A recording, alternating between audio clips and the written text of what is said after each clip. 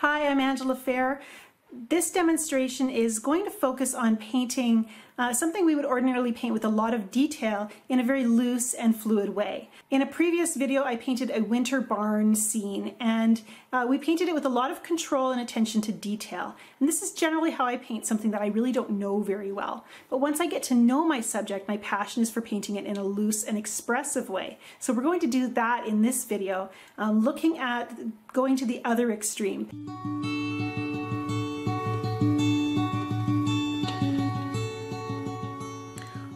One thing I think that is important if you're painting loosely is to work on uh, the right size of paper. If your paper is too small, it's really hard to use uh, loose body movements to just really relax into your painting. So rather than that small little sketchbook, which was about five by eight, we've gone up to a quarter sheet of watercolor paper here. This is 100% cotton, 140 pound cold press paper. Uh, I believe this is Kilimanjaro from Cheap Joe's Art Stuff. And it, the size I have uh, taped to my board is uh, about 11 by 15, so it's a quarter sheet of watercolor paper. One thing you want to make sure of as you're getting started is to keep a loose uh, mindset. And uh, so you want to be relaxed when you start painting. And for me, that means warming up, uh, relaxing in the studio, starting to feel those creative energies flow. I don't go right into, uh, I'm going to paint a loose painting today without working to get myself into that loose mindset. And so um, I've, I've done some warming up, I've splashed some paint around. Check out some of my loose uh, warm-ups and, and looser paintings uh, here on my YouTube channel. I've got all kinds of demonstrations in loose watercolor painting. One, one thing I've noticed is that it's really hard to paint something loosely if you don't know it. And so I, I've I expect that the first time I paint a new subject, I'm going to be painting it uh, kind of tight and controlled. Until I get to know it, that's kind of going to be my default because I'm uncertain, I'm not sure about what I'm doing.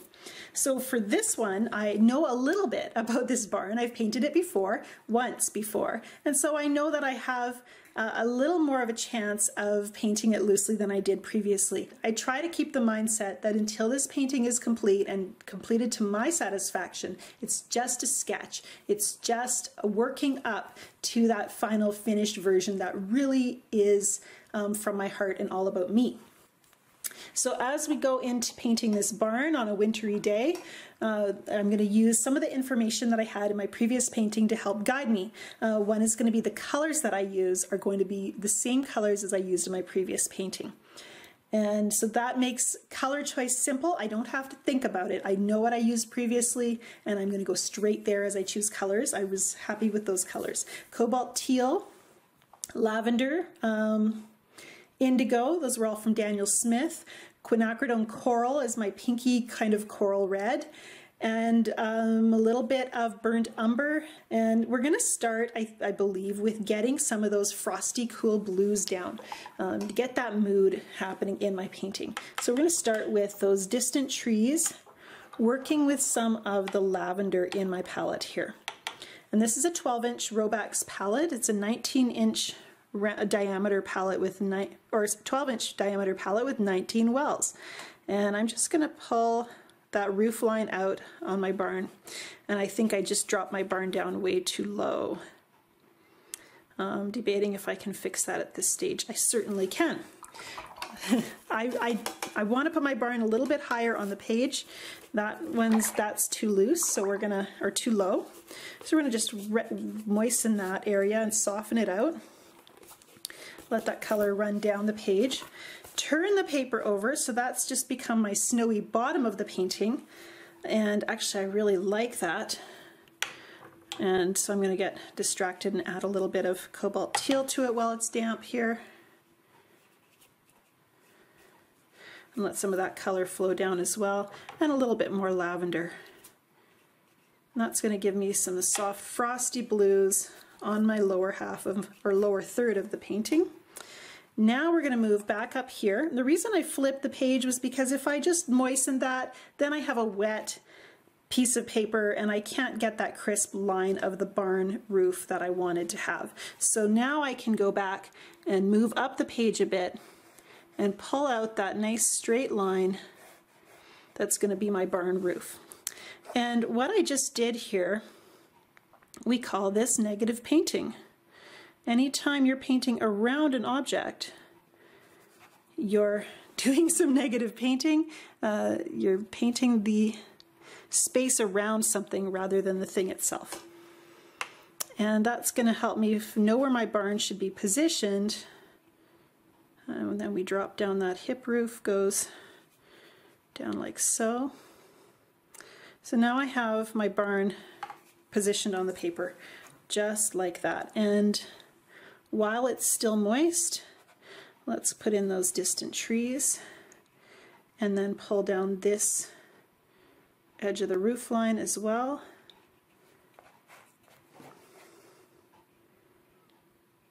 And the line is light enough that I could adjust it if I need to later, so that's something to be aware of. I'm not going to have a ton of sky here. I think that's going to be okay. And we drop down our hip roof on this side. Whoops, and I just made a little bobble with my brush, which I don't think is going to matter too much. That's going to be where the blue roof is anyhow. And this is where, um, as soon as we start worrying about making mistakes and getting our proportions wrong, that's when our painting starts to get stiff. So we don't want that. We want to avoid it at all costs. We want to keep things loose and relaxed. So we're going to try to use the side of the brush. Right now we're building big shapes. Uh, this first layer of the painting should be all about the major shapes and getting those established. And I'm liking the way the lavender granulates. I don't have much sky in this painting. I didn't, what with deciding to move my, my barn up in the scene instead of down means that I did lose a little bit of sky and I think that's going to be okay. Um, but I'm going to proportion this like so. Okay, let's continue by connecting our barn to the scene. What happens is here um, that if I leave this very crisp shape all by itself, I'm going to end up with a barn that doesn't look the same as the rest of the painting. So I'm going to go in with some cobalt teal and try to dig out that roof. I'm using the words dig out because I still have to kind of find it. In fact, I'm going to grab a little bit of Quinn coral right now just to help me find that roof line. Something like so. And we're going to just leave it soft and messy like that.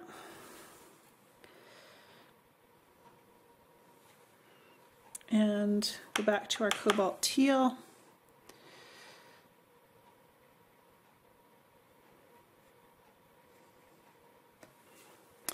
And the cobalt teal just pushed into the red. Look at that. I'm going to have all kinds of bobbly water blooms. And I think I'm going to be okay with that. The values are still very light. And we want to create texture and looseness. And a lot of that means giving up some control in the early stage of your painting. I'm going to soften this edge now, that roof line that we've so carefully carved out. I'm actually going to let it bleed a little bit as well, just to unify and connect everything in the painting together. And it looks like a great big mess right now. It's kind of scary. When we're painting loosely, we have to let the painting take over just a little bit. And at this point, that means it looks kind of wrong. Um, I'm, I actually feel like I need to stop because my, my body is tightening up. I'm getting nervous and I don't want to demonstrate uh, how to tighten up on a loose painting. Uh, that's not our goal here. We'll let it dry, take a break, reset our brains, and uh, be ready to paint uh, the next layer of this very loose beginning. So there's not a lot to feel great about in this painting right now. I definitely feel like I need to uh, make some serious progress if I want this barn and winter scene to to work. I do like the colors in my background and the texture that I have here and the simplicity of my snow but uh, this definitely doesn't read as this loose and expressive and uh, interesting barn at this point. So we're going to work on that. I'm pulling out my round brush again and going back into my quinacridone coral. We're just going to see what we can do to make this barn just start to tell a story and a good story. We want to we want a splash of color, some vibrant, interesting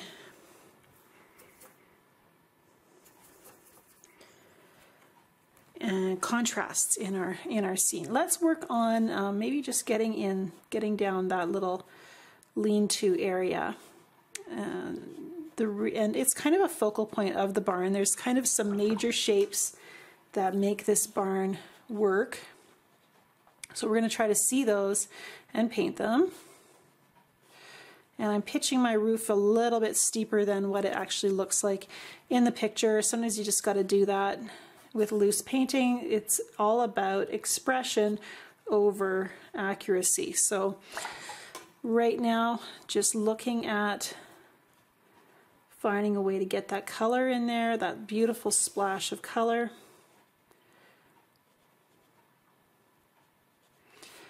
and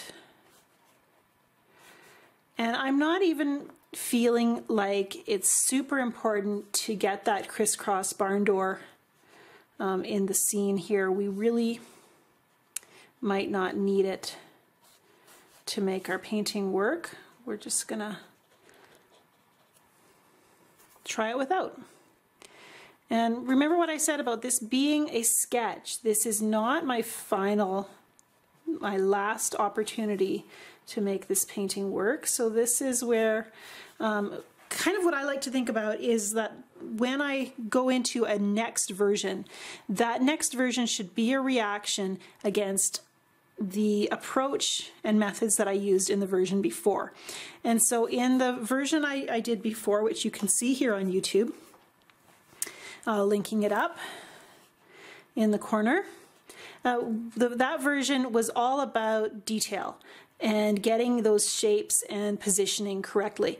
And with this version, we're rebelling against that obsession with detail. So I'm not painting my, my barn doors. And I'm not being super rigid on my uh, contours and shapes and how everything fits together. It's got to be a little bit more loose than that. And actually that works. Uh, yeah, that works pretty well. Take a look. We have here now, and I'm going to add some softness here, I think, and a little bit of blooms in by using a juicy brush. I'm going to push some water up into my barn contours. Where that cobalt teal leaked in, uh, I've actually covered that up with the red and it just looks like a hint of shadow right now. This roof line, this edge, gives us the feeling of a barn. We don't actually have to do anything else. Uh, so that's pretty neat to see it take shape um, right now in the scene. And we're not going to worry about uh, anything else with that barn right now. Um, we're going to move right over to our fence. And I'm going to use that uh, the Loose Goose Dagger Striper brush, which is a really nice brush for painting fine lines. And I'm going to use that brush to pull my fence out uh, in the scene. And I'm using the Cobalt Teal again. And I'm trying to be looser again this time, more relaxed in my approach.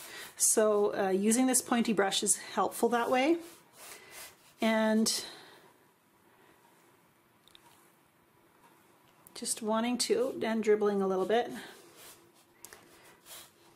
And as I pull the brush, you can see it gives me kind of an irregular line. It's not a perfect uh, plank. And, and I think that's, that's something that I want as well. We're going to do three planks, one on top of each another, and another one here, another one here. Spaces for the tree trunks I'm going to be painting shortly and then a third plank down along the bottom.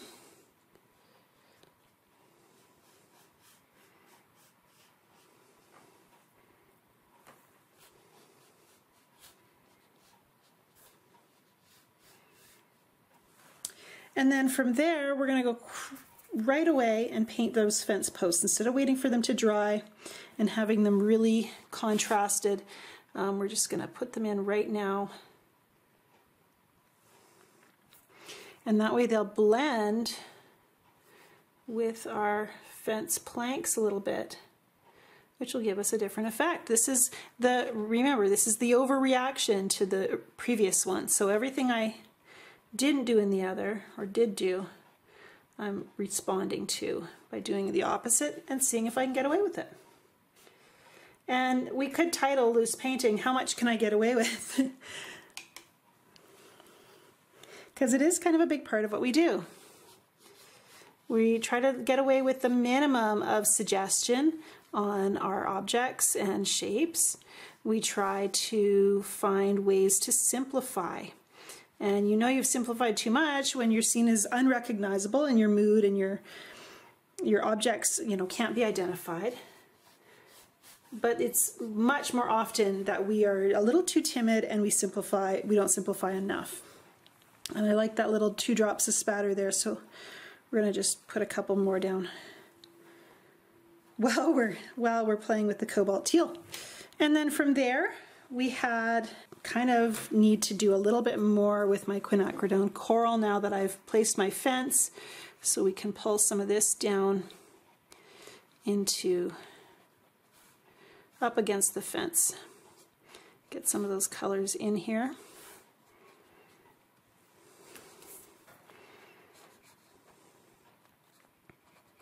And I've got kind of an untidy brush stroke right over here. We're going to talk about ways to fix that in a minute.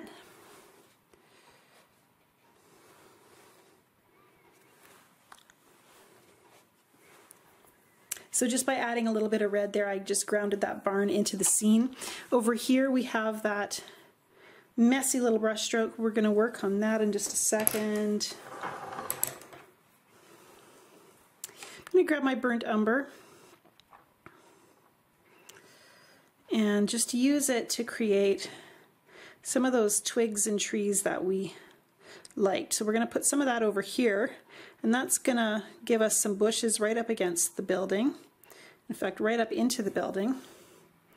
Suddenly we have a tree emerging. Actually, I'm going to pull it right down because we're painting everything loosely while my fence, my fence hasn't had a chance to dry. So I can actually put something in front of it um, and have that color kind of blend and work.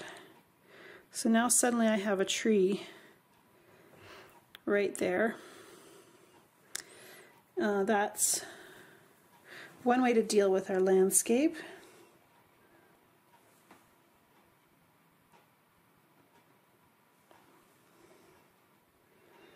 More bushes and trees.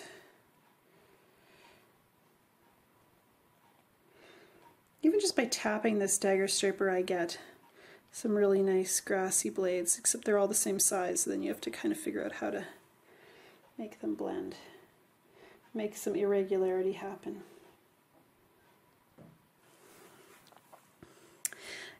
And let's put those big trees in. For that I liked using the burnt umber combined with a little bit of indigo just to darken it up a bit.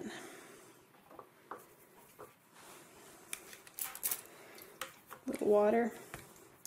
Then I get kind of a smoky dark brown.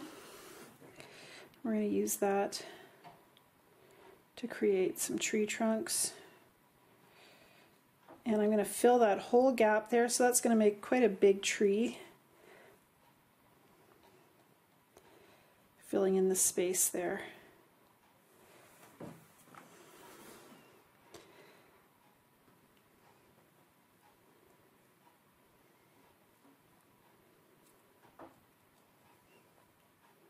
The bonus of this really long whippy rigger brush is that you can use the side of it to make wide lines and the point to make really fine ones. That's straight indigo coming in. Just to create some shadows. And really this is where the tree becomes the focal point.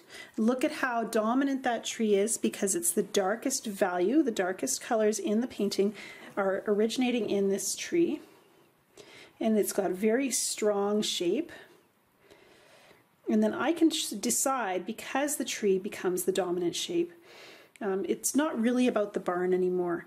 And so then we want to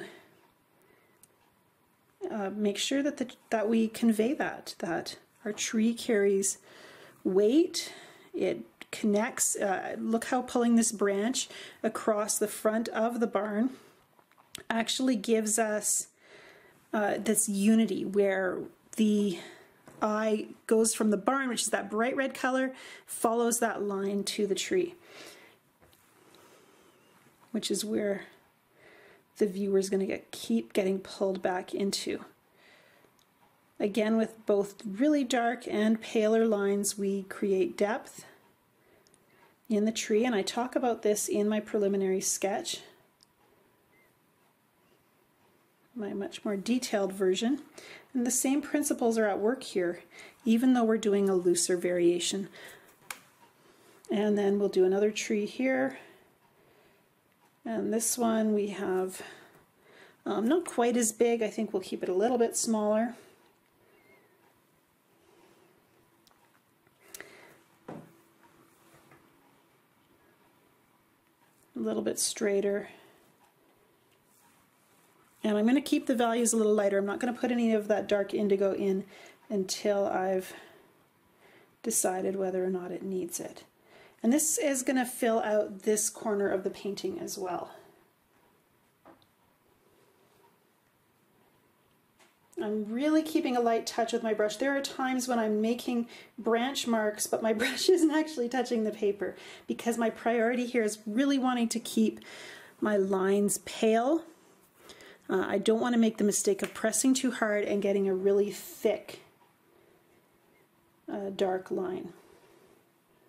Okay, so I am adding a bit of indigo, but not not at full strength right now. The other thing that happens is, uh, and I'm going to pull in a little closer so you can see it, um, your, your branches don't all need to touch uh, the tree or even each other to still read as tree branches. No one's going to say, well, that branch is obviously blowing off the tree because it's not even touching your tree. People don't. It works. Um, it gives that impression of um, lacy transparency when some of your branches have a little less solidity to them, a little bit softer. So that's some really nice trees that help give that feeling of strength, drama, and we're gonna do a little bit, I think, I think to make this work even better, I want to give a little more of a suggestion of distant trees as well. So I'm just going to mix up a little bit of a watery lavender. And I'm going to keep it quite watery because I'm going to use it to pull up some tree forms in the background. And I because it's quite a transparent watery mixture, I can create those shapes over top of the branches that I already painted without messing up my painting. It's not too late to go in and and just create those shapes and that's going to give that look of distant depths. Carry it across, there's a tree in the middle and then I go on to do the same thing in the space in between. And the same thing in the space in between here as well. And actually you don't need to pull all the way down to the fence line. I should actually have the bottoms of those trees in, revealed as a little bit further away. And what that does is it just shows um, that the forest is a little bit farther than right, lean, then these trees aren't really right up against the fence line.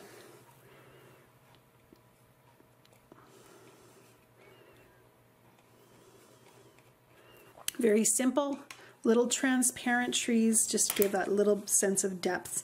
I could add a third layer of depth if I wanted to, um, but I don't think I do. The other thing I think I'm going to do, and that's not in my reference photo, and this is the artistic license we were talking about, is I'm going to go back with my burnt umber and create a few more twigs right here in the foreground. And in the photo, the snow is deep enough that there aren't any twigs sticking out of the snow. But in but because I have this little turquoise splatter here, um, it feels like it could use something in the foreground just to pull the eye down and away from these big dominant darks.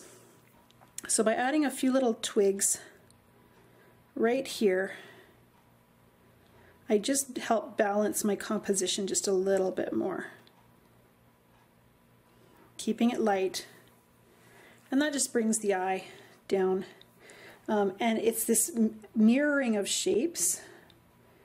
A little few, few more twigs there. So now we have twigs leading your eye up, more twigs moving along, and then actually echoed up in these shapes as well. I could go even further um, you know, and add a few more twigs just in this area. Now that my barn has dried, I can place some more lines without them bleeding. And that just gives me, you know, that little bit of further structure. Now I feel like my barn, I'm actually really happy with this loose barn scene. Uh, look at how it compares to my original sketch.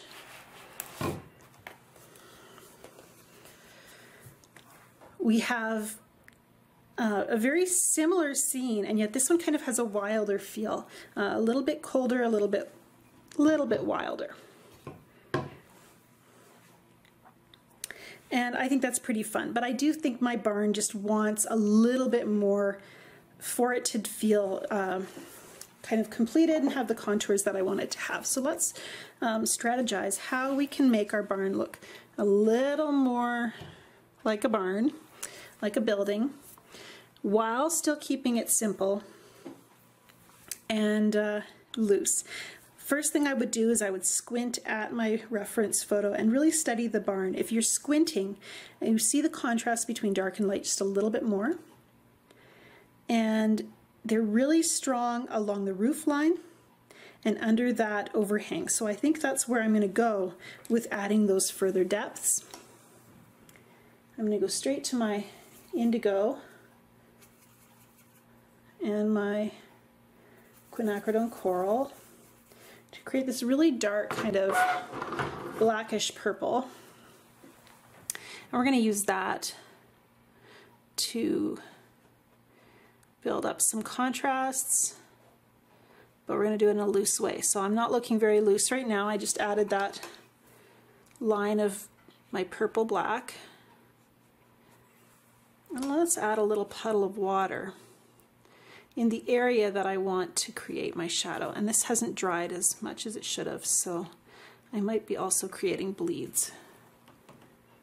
Um, where'd my indigo go? go to straight indigo and see. See if adding a lot of contrast is helpful here. You can see the color kind of thready where it hits the water and starts to bleed. And then we're going to do the same thing. Line of dark, and I'm using almost pure indigo right here. So it's very dark. We're going to add enough water so that it can flow a bit.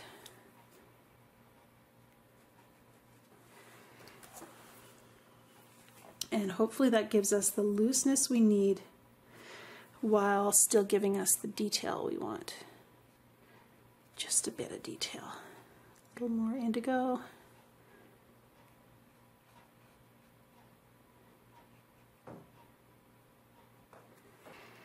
and water to give let it run. The difference here from my first version is that I'm using more water so we have more movement of that pigment. And boy does that make my barn's contours really jump out at you.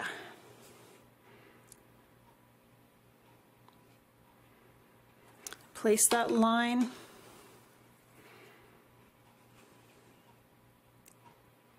and bleed it out. Same as before, just with more water. Same as before, just a little bit more.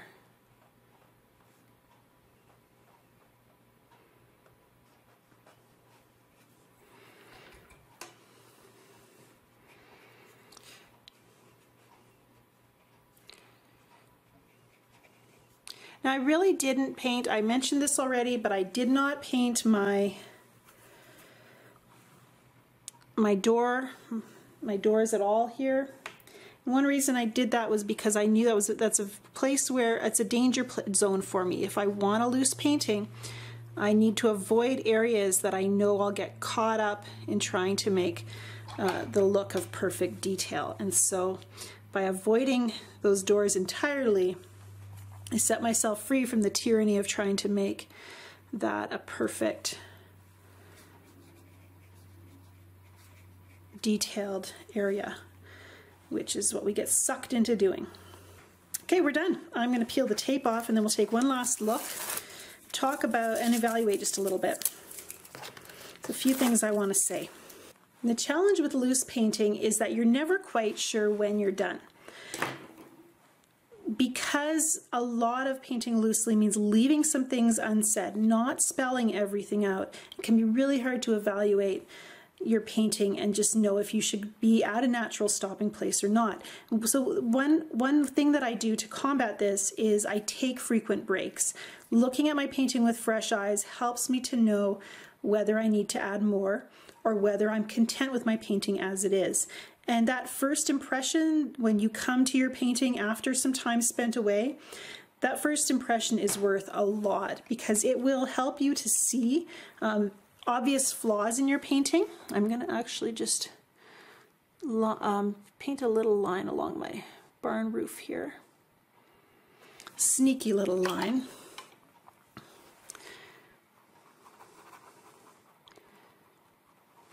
And then soften it and that's just gonna know that help that edge pop out just a little bit more no one would notice it unless I pointed it out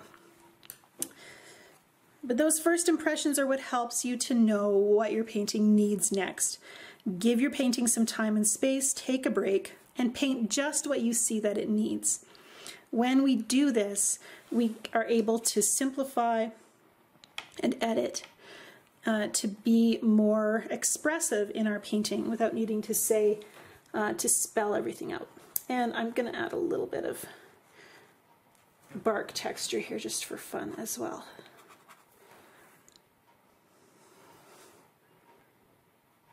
just a little bit of texture can will help make this tree just that much more dynamic.